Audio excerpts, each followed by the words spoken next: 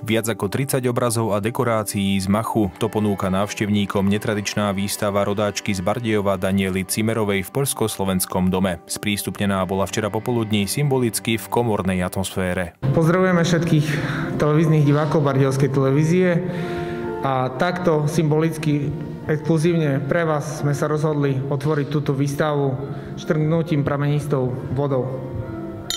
Takýto obraz vzniká v prvom rade fantáziou, a v druhom rade e, treba mať e, ten machy, ktoré sú stabilizované. Lepí sa e, na ten podklad. Podklad musí byť zdrsnený. Na to sa dáva ekologické lepidlo, ktoré nezapácha, je priateľské k človeku a k zvieratám.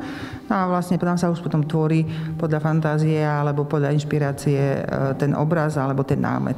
Hlavným materiálom pre tvorbu obrazov s kúskom prírody je pravý mach. Ten pochádza z francúzskych lesov, rastie v rôznych odtieňoch, no niekedy ho pre celkový dojem z obrazu autorka jemne prifarbí.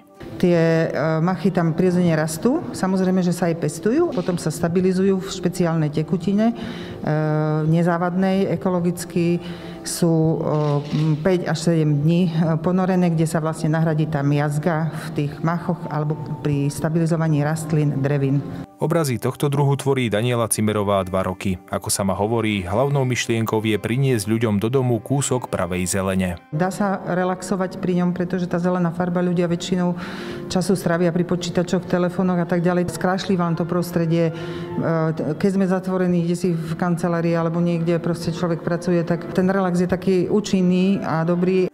Výstava Daniely Cimerovej potrvá do 30. júna. Uvidíte na nej veľa zaujímavého, okrem iného aj obraz venovaný Poľsko-Slovenskému domu s tématikou 20. výročia zápisu Bardejova do zoznamu Svetového dedictva UNESCO. Tak vás všetkých srdečne pozývam na výstavu, ktorá vám dúfam prinesie trošku krásy, nehy a pohody a budem rada, keď sa vám bude páčiť a budete mať eh, pekný zážitok.